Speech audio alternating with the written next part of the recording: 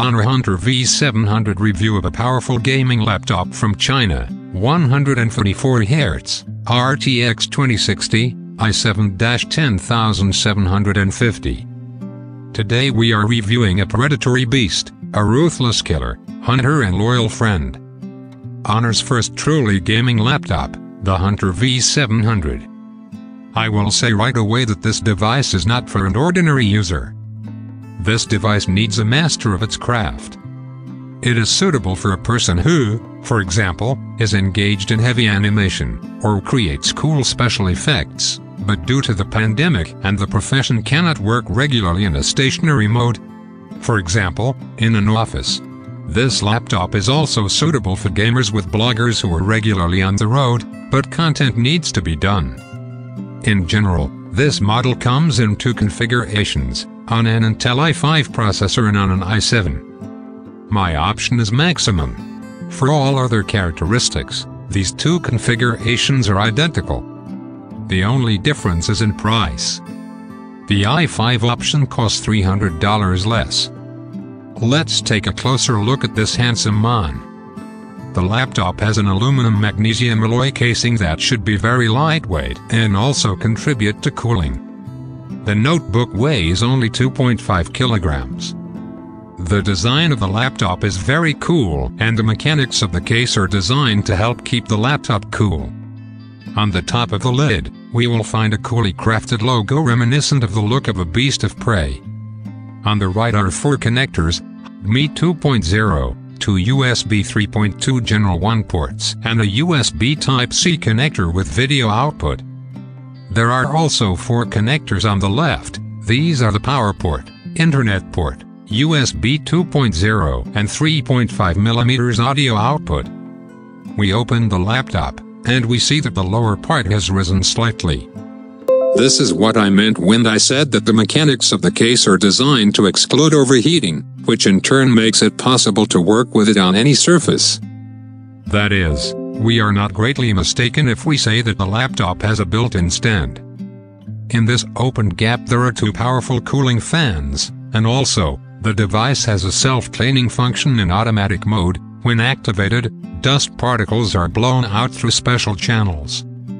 The lid with the display has a central hinge, which is very cool, since the laptop no longer has the appearance of the standard worn-out look. At the top, in the center of the keyboard, we find the power button, which is equipped with a fingerprint scanner. We press it and start the laptop. When turned on, a 4-zone, customizable RGB keyboard illumination and additional circular illumination of the case illuminate. By the way, the logo engraved on the back cover also shines in bright blue, plus, the eye of the beast appears on the display too. The laptop starts up in a matter of seconds, and to be precise, I measured the startup time to full readiness. It took me exactly 8 seconds. All this is due to what is installed under the hood, but more on it later. Let's go back to the keyboard. This is a full-size gaming keyboard. It has an exclusive button, Hunter, which allows you to easily switch between three modes of backlighting, and, let me remind you, it has 4-zone RGB backlighting, that is, for each zone separately you can choose a different color. The WASD area has its own backlighting, the spacebar is wide, there is a full-fledged keyboard with numbers, and the arrow keys have been moved down to highlight them. The keys are 1.8 millimeters high and double curved, making them comfortable for long periods of typing. Fingers don't get tired, and on top of all this, you have endless enjoyment of pressing.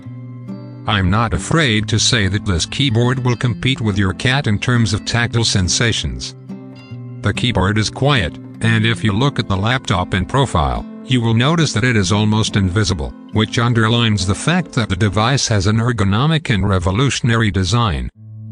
But what impressed me was the touchpad. I have not yet met a more accurate mouse substitute. The cursor is very easy to control, and if you have dexterous hands, then you can cope with it in shooters such as CS. Go, but this is in that rare case, if for some reason you temporarily lack a mouse. The laptop is equipped with a 16.1-inch gaming display, It is an IPS matrix with a full HD resolution, 1920 x 1080 pixels, and has a refresh rate of 144 Hz. And just look how juicy it is.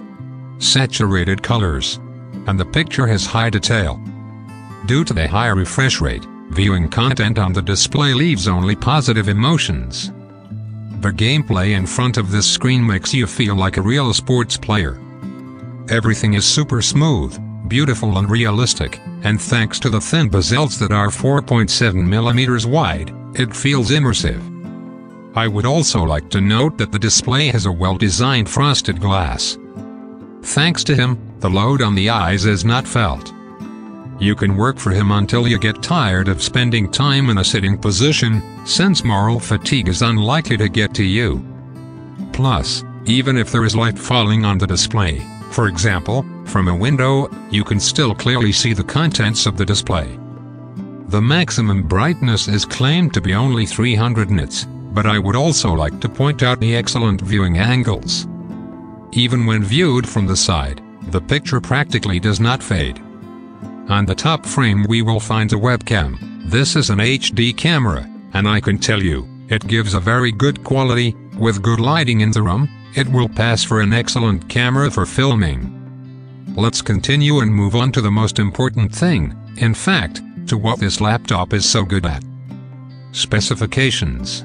It is powered by a 10th General Intel Core i7 i7-10750H processor, clocked to 2.6 GHz and overclocked to 5 GHz, paired with 16 GB of DDR4-2666 RAM plus 512 GB SSD storage.